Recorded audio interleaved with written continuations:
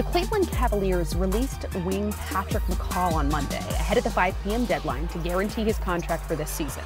McCaw, who agreed to a free agent deal with the team last week, played only three games for the Cavs, scoring a total of five points. He joined the Cavaliers on a $6 million non guaranteed contract offer, which the Warriors refused to match. I want to ask you where he could end up as a free agent, where he could potentially fit well, but also want to ask about the situation at hand. Is it something that the league should be looking into? Is there a rule here that you think perhaps should be changed because of the loophole that's been found? Go ahead, Mike. You had an interesting take on this today when we talked.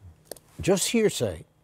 But remember, if he did not sign with someone, he was still Golden State's property. Right. So he had to sign with another team. There weren't a lot of takers out there offering him money. So Cleveland, who could have been doing his agent a favor, signs him to a two-year non-guaranteed contract. Now, the day before, legally they can do this, they waive him. Well, guess what? He's now a free agent. So now he can go to a team that perhaps his agent has already talked to, negotiate a deal worth more than what he was getting from the Cavaliers, and he winds up in a place that he's happy with and really wants him and can use him. And Cleveland has done a very nice favor for an agent who may happen to have a great player down the road some year. We don't know that. But he couldn't go back to Golden State, and he could sign with the Cavs for significantly less. Yeah, I don't see him doing either, though. He's not going back to Golden State. I think they made that perfectly clear, and they didn't, they didn't want to match. And anything. the Cavs don't need him, to Exactly, be honest yeah. with you. They've got a number of players that the same size, do Yes. the same things that he does. Agreed. I think I think he's one of those guys that fits on a good team. I don't think he fits on a bad team. I don't think you can give him the ball and say go create for others and stuff. You know, he, he got a lot of open shots, but I tell you what, everybody gets open shots if you play with KD, Steph, and Klay. Uh, you know, they're gonna they're gonna be off you. Yeah. I could see him going. You know, Chris Paul has had problems. I could see Houston being a buyer maybe in this market where McCaw can make some shots for them. You know, defend well enough at that point guard. Do do just enough off the dribble and be clever enough with the ball that you give James a little bit of a, a rest, Harden off the ball a little bit. I could see him going to a good team.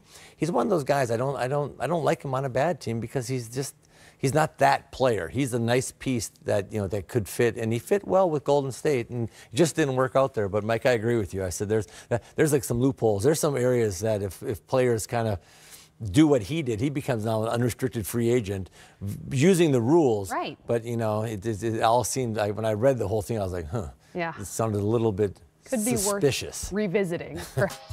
My mom used to call me Special K. Ooh. Funny. The Spurs win at 119 to 107. That's their season high fifth win in a row.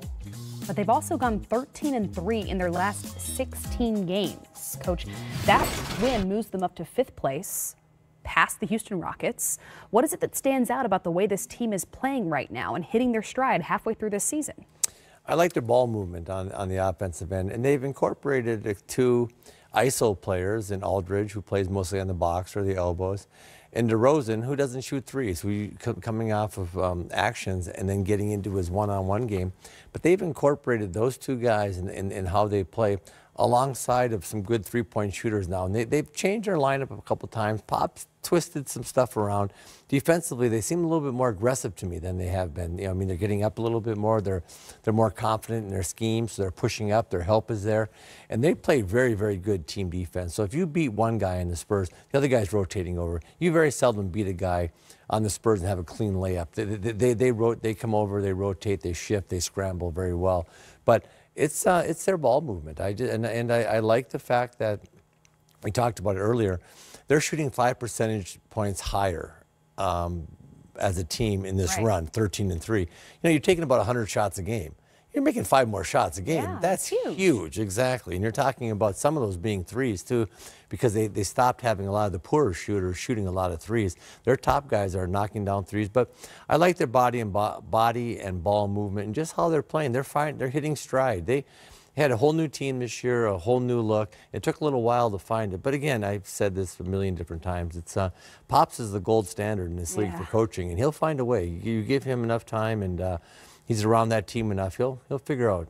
Well, uh, speaking of the Houston Rockets, which is the team that the Spurs just left over in the Western Conference, and the Denver Nuggets, the team sitting atop the Western Conference. The Rockets hold the 10-point lead at halftime, 70 to 60. James Harden, unsurprisingly, is leading the way with 18 points. He's got seven assists as well.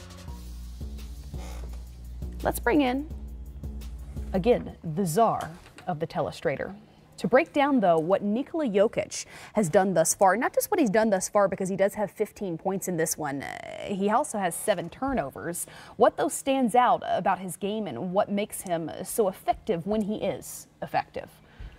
Let's take a look at the versatility that this young man has. He's very skilled, and they use him all over the court, not just send him down low because of his height. They take advantage of the things that he can do. First, let's look at him as a passer, as a distributor. They'll start him in the low post area, knowing that he can score down there. But he looks over his shoulder, reads the defense. It's a one-on-one with Capela until Tucker comes. As soon as Tucker comes, he drops it off to Millsap for the little short shot on the inside. Let's take a look at him in that post area, get him the ball and the aggressiveness that he has. Look everything over, start to make you move. Yeah, it's a miss, but he goes right back after, comes up with the offensive rebound, and then scores. Then on the outside, dribble handoff. I'm going to go down and post up the smaller Tucker. Tucker beats him up a little bit in that post area. So, okay, I don't want to get in a fight. I'll just step out behind the three point line and watch this one from well behind the three point line as he knocks down the three. So, a number of different facets to his game.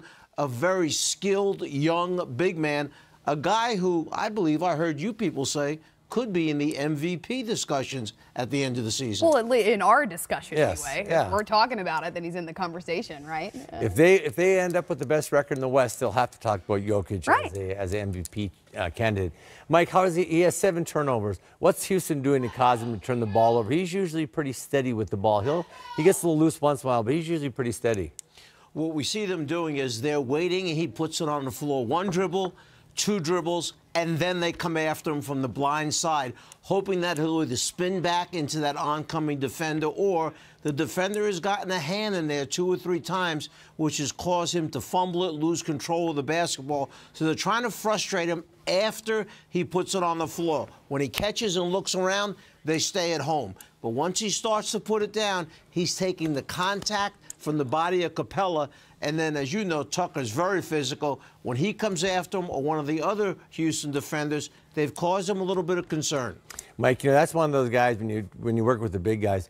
That's if you inside reverse the old Jack Sikma move, so you keep your face to the guy and you never get your back to the basket where they can come up from behind you. So as you rip and face up, everything's in front of you. You can see it. You know he's he's such a young player. He needs to incorporate that because that's that's one of the things when you start dribbling the ball and they start coming from your blind side and everybody's digging, you get some turnovers. But he'll make an adjustment. He's very he's very smart and he's got great hands. I I like that big fella. It always puts tremendous pressure on the defender when the offensive man turns and faces up because now he becomes that triple threat. All right, thanks, Coach Fratello. We'll uh, check back in with you. Milwaukee Bucks taking on the Utah Jazz. That game's going to be on NBA League Pass just minutes from now.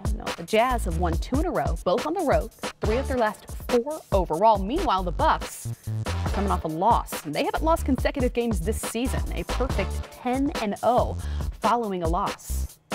Let's hear Coach Quinn Snyder with Craig Bolerjack prior to the game. This is game number 41 tonight. What's your thought? Well, it's it's hard to believe. Uh, we were walking on the, the uh, just coming to practice and walking on the street today, and um, you know you still see some Christmas decorations, and Christmas seems like it was two months ago. So um, it's happened fast, and we're um, you know we're growing. I think we're we're a better team now than when we started the year, and that's to me. I know, you know, you, you love for the record to. Yeah, I think you always want the record to be better. Right. Um, but I think that you know as we as we continue to play and tonight and the next game and beyond, if we can continue to improve, um, that'll serve us well. You know, speaking of getting better, listen. Let me take you back to Detroit because you were down 18, but a dynamic second half, offensively and defensively. You guys are very active, and Donovan seemed to be the guy that led the charge. Yeah, you know, really, and, and you mentioned Donovan in the second half, and he certainly did. I think um, in the second quarter, um, really, when Dante and Thabo were in the game, the way those two guys played, and it was tough to see both of them, you know, take an injury because they, those two guys you could really feel. Thabo played the rest of the second quarter. Dante had like five assists in six minutes, and hard to lose them in that game. And would have also been really easy with those two guys playing well for the rest of the team to kind of let up, and and that didn't happen. And you know Donovan, as much or more than anyone, um, really midway through the third quarter, he came back in and he really dug in defensively, and I think he just the game just started kind of unfolding for him, and he was instinctive and he was really good. Yeah, he really was. Uh, Coach, uh, finally, we're in Milwaukee, which is the home of Giannis Antetokounmpo, and when you speak of him, I mean, just one word pops up, it's just unique. Yeah. Maybe you have more. Terrific, yeah. There's a lot of superlatives yeah. that you can use to describe him. Um, and Bud's done an unbelievable job, you know, helping him um, bring all those talents out kind of exponentially. But um, some of the statistics that you see um, that are unique, nobody scored more in the point in the paint um, since Shaq. So you look at a guy and, you know, he's basically a modern day Shaq. He's not doing it with post-ups all the time. He's doing it more off, you know, dribble penetration and transition. But um, he's a really unique player, and, and that makes it, it's hard because he's so good, but it's also hard because he's so different. Coach Snyder also mentioned Dante Exum's ankle injury. He's reportedly going to be out for the next two weeks. So before I ask you about their matchup with the Milwaukee Bucks, I want to ask why the slow start for the Utah Jazz, a young team that we were expecting to see take a big jump at the start of the season. I think a couple of things that jump out at me when you look at their record right now. They've played 16 home games. They've played 24 away games, and here they are in Milwaukee again tonight. And the fact that they have a 20 and 20 record, just a game and a half out of the playoffs in the Western Conference, I think says a whole lot. The same thing is Donovan Mitchell didn't start out the season the same way that he finished up last season.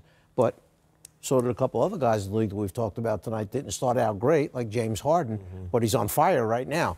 So if Donovan Mitchell gets back to the form that we saw last year, where he was just simply sensational, and then a couple of these nagging little injuries where guys miss three, four, five games, you couple that with the brutal schedule, this team's in a great spot to make a run in the second half of the season. Let me ask you, Kevin, because you and I talk a lot about these young players who the team tends to, well, the league tends to figure out in mm -hmm. their sophomore season. Do you think that that's the case here with Donovan? No question. When you take the league by storm like Mitchell did, especially the second half of last year, everybody now, you're the number one guy in the scouting report. So the coach stands in front of the group in the morning before the game and says, This is how we're stopping Donovan Mitchell. I'm putting my best defenders on him. I'm forcing him left. He likes to pull up. Whatever your tendencies are, they say we're taking your favorite tendency away, making you play your, your weaknesses, not your strength. And I, as a young player in this league, it's like a chess match. You start off with the same opening in your chess match five, six times in a row.